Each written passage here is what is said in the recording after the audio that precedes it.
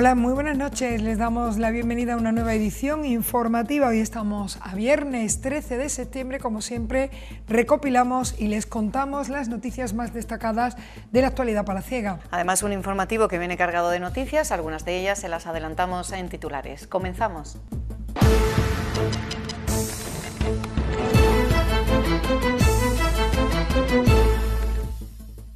El Ayuntamiento Palaciego estudia la propuesta de Urbaser para la ubicación a partir de la segunda quincena de octubre de las isletas ecológicas de contenedores.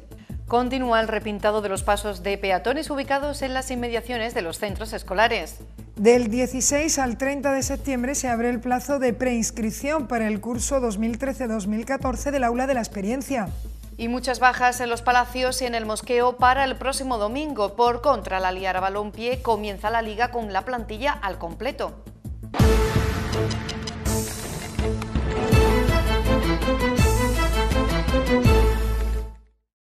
Lo adelantábamos al inicio de la presente edición informativa. El Ayuntamiento de los Palacios y Villafranca ya estudia la propuesta de Urbaser para la ubicación de las isletas ecológicas de contenedores para la recogida selectiva de papel, cartón, envases y vidrio. Según ha explicado el alcalde Juan Manuel Valle tras la reunión de trabajo, la colocación de estos contenedores comenzaría a partir de la segunda quincena del próximo mes de octubre. Esta reunión de trabajo ha servido para analizar y estudiar la colocación de las denominadas isletas ecológicas de contenedores en distintas calles, plazas y avenidas de los Palacios y Villafranca y de sus tres pedanías. Según ha explicado el alcalde Juan Manuel Valle, será a partir de la segunda quincena de octubre cuando comience la colocación de un importante número de contenedores que supondrán, por un lado, una más que destacada mejora en el servicio que se presta en nuestra localidad en cuanto a la recogida selectiva de papel cartón, envases y plásticos y vidrio, y por otro lado permitirá aumentar de forma considerable la capacidad de reciclaje. Hasta este momento, bueno, pues los Palacios Villafranca cuenta con un servicio prácticamente inexistente en lo que se refiere a la recogida, por ejemplo, selectiva del, plástico y de, los envases. Durante muchos años pues, han ido desapareciendo los contenedores amarillos que se utilizaban para la, basura orgánica. La mancomunidad dejó de prestar ese servicio, que era la que nos lo prestaba a todos los ayuntamientos mancomunados, y los Palacios Palacios, el primer municipio de los 11 que ha resuelto esto en, en tiempo y ya está encargado un buen número de contenedores. En estos momentos en nuestro pueblo hay 70 contenedores de vidrio, vamos a aumentar de 70 a 80, pero también va a cambiar el, modelo. Vamos a pasar a tener contenedores de carga lateral, que para que los ciudadanos que nos vean lo entiendan son los que tienen el pedal en el lateral y se abre, son los que podemos ver en, Sevilla Capital, por ejemplo, que estéticamente son mucho más bonitos, pero también tiene una mayor capacidad de, recogida, por lo tanto también pues reduce el número de residuos. En cuanto a lo que es papel cartón, en estos momentos en nuestra localidad hay 80, que son los que ven los ciudadanos que son metálicos, que son cuadrados, y de 80 vamos a pasar a tener un número de, de 98 contenedores con lo cual eso, teniendo en cuenta el ratio de población, pues va a suponer un aumento considerable. Y quizá donde la población va a haber un, número muy importante, un cambio radical en cuanto a la filosofía de nuestro pueblo, por tener un pueblo más, más limpio, que contribuya también a, a la preservación del medio ambiente, va a ser en los contenedores amarillos, los de los envases plásticos, porque de tener un número prácticamente inexistente, pues vamos a, superar el centenar. Este importante incremento en el número de contenedores, sobre todo los amarillos para envases, permitirá una mejora en la dotación de los mismos en barriadas como la de las comunidades autónomas, donde prácticamente no han dispuesto de ellos.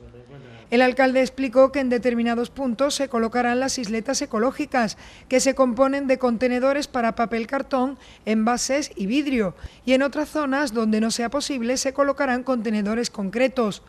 Como dato a destacar, decir que por primera vez en nuestro pueblo se colocarán contenedores de papel cartón y de vidrio adaptados para personas con discapacidad.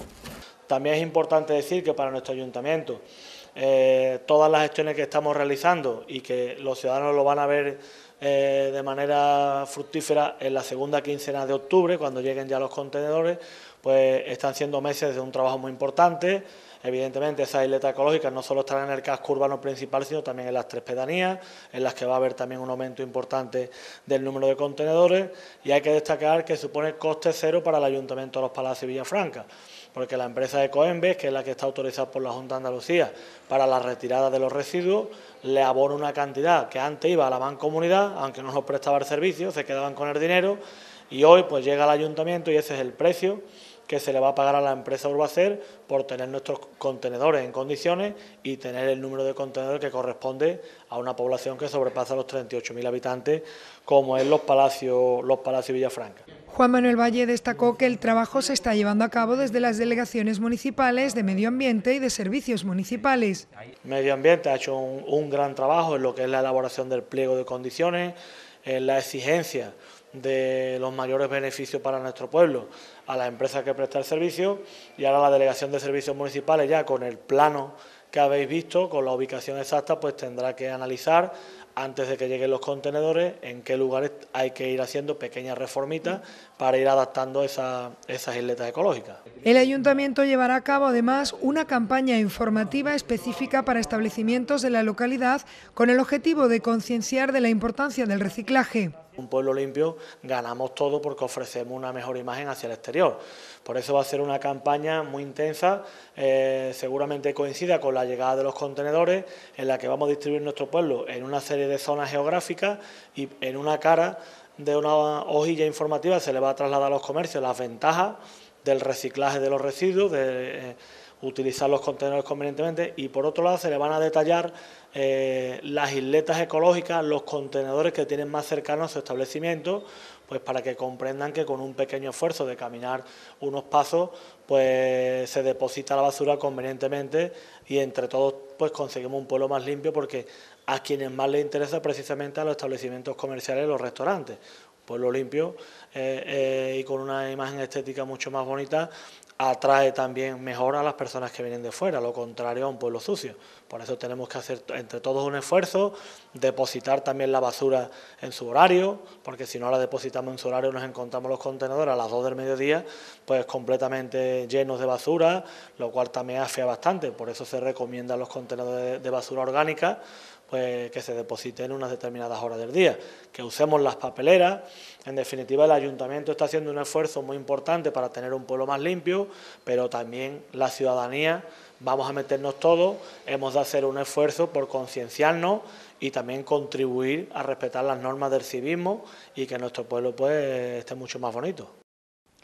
Y el Ayuntamiento de Palaciego, a través de los servicios municipales, continúa en estos días con las labores de repintado de los pasos de peatones que están ubicados en las inmediaciones de los distintos centros escolares de la localidad. Durante toda esta semana han continuado los trabajos de repintado de los pasos de cebra que permiten el acceso a los peatones a los distintos colegios palaciegos y garantizan la seguridad de los alumnos a la hora de entrar en los centros. El pasado martes, recordemos, los trabajos se centraron en los pasos de cebra que hay en las cercanías de los colegios Andrés Bernaldez, María Doña y Cervantes, mientras que hoy se han pintado los pasos de peatones de las inmediaciones de los colegios Félix Rodríguez de la Fuente, Palenque y Picasso. La Delegación de Servicios Municipales continuará con el repintado de todos aquellos pasos de cebra que estén situados juntos a los colegios y una vez queden concluidos se repasarán los del resto de la localidad, dando prioridad a los que estén en aquellas calles o avenidas con mayor tránsito. Seguimos con más temas. La Delegación de Educación del Ayuntamiento de los Palacios y Villafranca ha informado del plazo de preinscripción para el curso 2013-2014 en el aula de la experiencia. El periodo en el que se podrán formalizar será desde el lunes 16 hasta el 30 de septiembre, una preinscripción que solo deberán realizar los alumnos de primero. El Aula de la Experiencia es un programa de desarrollo científico, cultural y social dirigido a promover la ciencia y la cultura al mismo tiempo que las relaciones interpersonales para mejorar la calidad de vida de los alumnos y fomentar la participación de estas en su contexto como dinamizadores sociales y está dirigido a personas adultas sin necesidad de titulación académica. Los campos temáticos que se impartirán en el Aula de la Experiencia son ciencias de la vida, de la tierra y del medio ambiente, ciencias biosanitarias, geografía, historia, historia del arte, lengua y literatura, psicología, comunicación, ciencias jurídicas, ciencias económicas, antropología, ciencias tecnológicas y consumo. Cada uno de estos campos temáticos se subdividen en asignaturas teóricos prácticas, las cuales se dan a lo largo de los tres cursos en los que se divide la programación. Además, existen actividades complementarias tales como conferencias, talleres y visitas excursiones didácticas. En cuanto al horario del aula de la experiencia, será de tarde. Así, para los de primero asistirán de 5 a 6 y media, mientras que los alumnos de segundo curso será de 6 y media a 8 de la tarde, martes y jueves. Las clases se impartirán en la Casa de la Cultura. Aquellos que estén interesados en acceder al aula de la experiencia deberán recoger el impreso de preinscripción en la Delegación de Educación en horario de 8 y media a 2 del mediodía y de 3 y media a 9 de la noche en la Casa de la Cultura, entregándose una vez cumplimentado en el plazo comprendido entre el 16 y 30 de septiembre, ambos inclusive. La preinscripción solo es para el alumnado de primero. La elección del alumnado se realizará por el orden de entrega de la preinscripción. En cuanto a la matrícula, se entregará en el periodo del 1 al 11 de octubre, ambos inclusive. La matrícula es obligatoria tanto para los alumnos de primero como de segundo curso y es necesario incluir fotocopia del DNI y tres fotografías tamaño carné. El precio del curso completo es de 70 euros, pero existen becas que se pueden solicitar en la que se le devuelve el importe íntegro de la matrícula. Más de 3.000 estudiantes de secundaria, ciclos formativos, bachillerato y de secundaria de adultos comenzarán este próximo lunes, 16 de septiembre, un nuevo curso escolar, el 2013-2014, los cuatro institutos palaciegos. Para este primer día de clase se contará con un horario escalonado dependiendo del curso e instituto. De esta manera, el Colegio Parroquial Nuestra Señora de las Nieves, que también tiene enseñanza secundaria, cuenta con 111 alumnos. El horario para este inicio escolar será de 12 de la mañana a 2 del mediodía. El Instituto de Secundaria Joaquín Romero Murube abrirá sus puertas a partir de las 12 de la mañana y recibirá a los alumnos de primero y media hora más tarde a los de segundo, tercero y cuarto. Este centro educativo acoge un total de 374 alumnos. El Instituto Marismas acoge un total de 656 alumnos, de los que 516 pertenecen a secundaria y 40 de PCPI. El horario también será escalonado. De esta manera, a las 10 y media de la mañana entrarán los de primero, a las 11 y media los de segundo y a las 12 y media el alumnado de tercero y cuarto. En cuanto al Instituto Almudeine, son un total de 994 los alumnos que se han matriculado para este curso escolar, entre secundaria, ciclos formativos, bachillerato y PCPI. Los estudiantes de segundo de bachiller y ciclos formativos entrarán a las 10 de la mañana, mientras que los alumnos de primero de bachillerato acudirán media hora más tarde. Por su parte, los de segundo de la ESO y los dos cursos de PCPI entrarán a las 11 de la mañana y media hora después serán los estudiantes de primero, tercero y cuarto de la ESO. Por último, el Diego Llorente, que suma un total de 1.103 alumnos entre secundaria, bachillerato, ciclos formativos y educación secundaria de adultos, comenzará a recibir a los estudiantes a partir de las 9 y media de la mañana.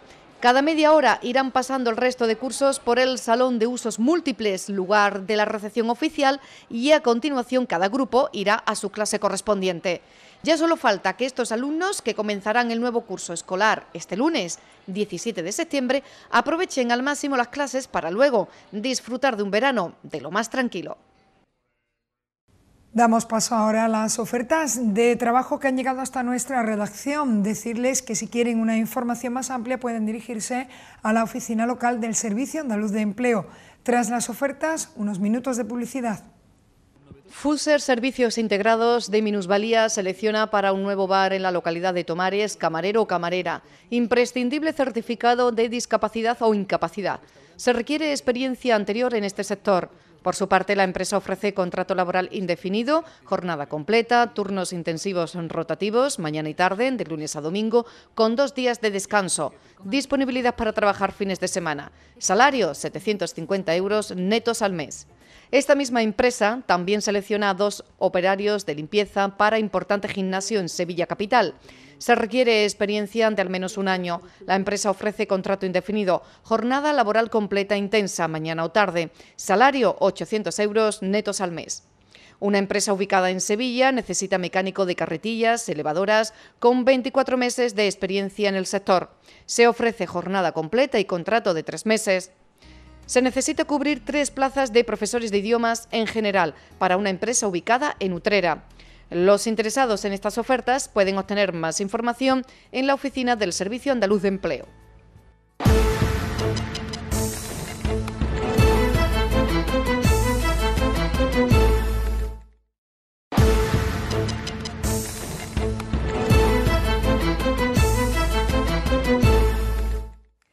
Regresamos de esa pausa, continuamos con más asuntos. La Hermandad de la Veracruz de nuestra localidad celebrará mañana sábado la que será la quinta exaltación a la cruz desde que se rescató en el año 2008. Se trata de una antigua tradición en la que se pregonaba la Santa Cruz. El acto tendrá lugar a las 7 de la tarde en la capilla de San Sebastián y será ofrecida por el vicario parroquial de Santa María la Blanca, Víctor Daniel Mariño Barragán. A la misa asistirán, entre otras personas, el Consejo Local de Hermandades y Cofradías, así como todo aquel que desee asistir a la misma. Tras el acto religioso, el curso Cofrade en 2013-2014 quedará abierto oficialmente. Más información de hermandades. La Hermandad del Rocío de los Palacios y Villafranca peregrinará este fin de semana a la aldea Monteña, donde celebrará una misa extraordinaria que tendrá lugar el domingo 15 de septiembre a las 10 de la mañana. Será en la ermita de la Virgen del Rocío, estará oficiada por el párroco del Sagrado Corazón de Jesús y director espiritual de esta corporación religiosa palaciega, don Luis Merello. La Hermandad del Rocío de los Palacios tiene el privilegio de abrir el calendario oficial de peregrinaciones del nuevo curso 2013-2014. Este próximo domingo, 15 de septiembre, la citada corporación religiosa peregrinará a las plantas de la Blanca Paloma para cumplir fiel a la cita anual de la celebración eucarística ante la Virgen en su santuario. La misa se celebrará a las 10 de la mañana y estará oficiada por don Luis Merello, párroco del Sagrado Corazón de Jesús y director espiritual de la Hermandad Palaciega, que será la primera en cumplir con el calendario programado por la Hermandad Matriz en el curso que en breve comenzaremos. Al finalizar la misa, las puertas de la Casa Hermandad abrirá para que todos los hermanos, devotos y simpatizantes puedan pasar un rato agradable de convivencia. Asimismo, el día antes, sábado 14 de septiembre, a las ocho y media de la tarde, se celebrará Santo Rosario conjunto con las Hermandades de Málaga, La Caleta, Fuengirola y Chiclana de la Frontera, y siendo el sin pecado de la Hermandad de Rocío de los Palacios el que encabezará dicho acto, que recorrerá los aledaños de la ermita por el camino oficial propuesto por la Hermandad Matriz.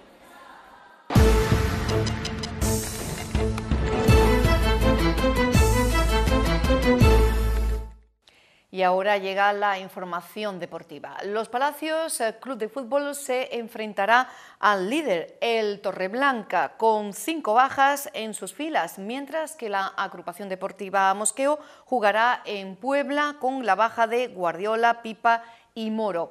La Liara, por su parte, empieza la liga este domingo con la plantilla al completo para enfrentarse al Andalucía Este. Los Palacio Club de Fútbol afronta la tercera jornada sin punto y sin cinco de sus titulares.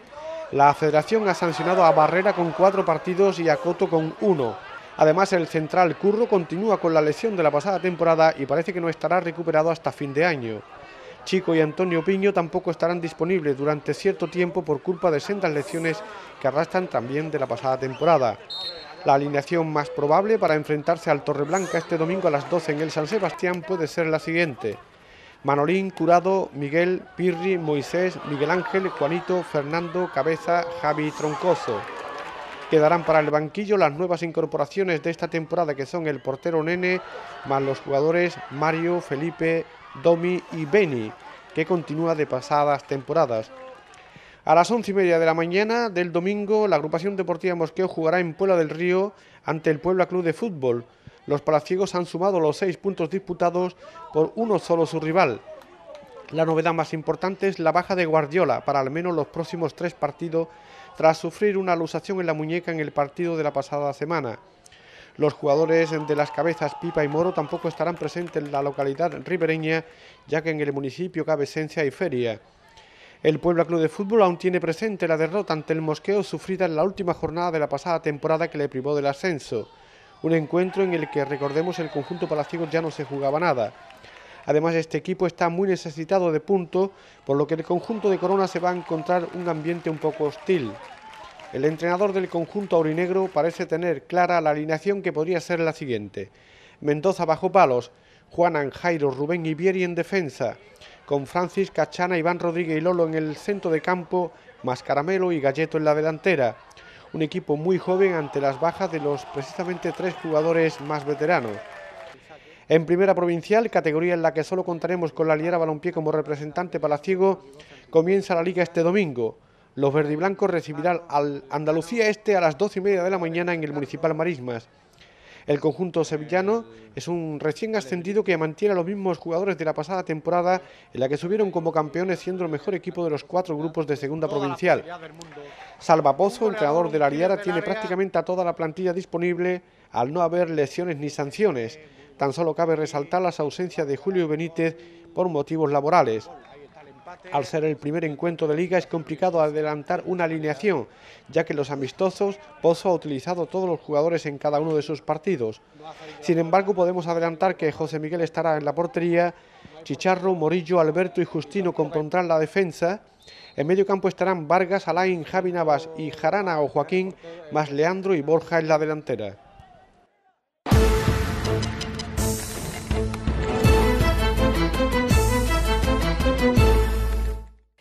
Bueno, pues este fin de semana parece ser que se presenta numerosas bajas en los distintos equipos palaciegos. Pues la verdad es que sí, veremos los resultados el próximo lunes. Ahora nos centramos en la previsión del tiempo, que parece que también está un poco revuelto para mañana. Vemos el tiempo para el fin de semana.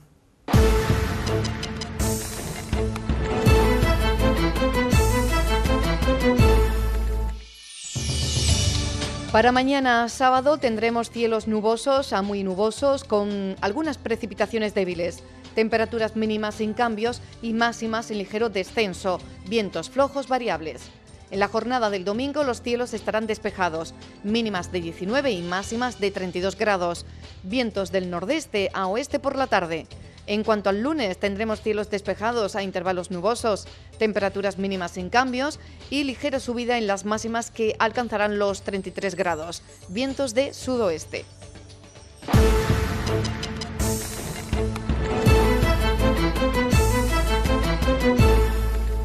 Con la información meteorológica ponemos el punto y final a esta edición informativa. Regresamos el lunes con más noticias que contarles.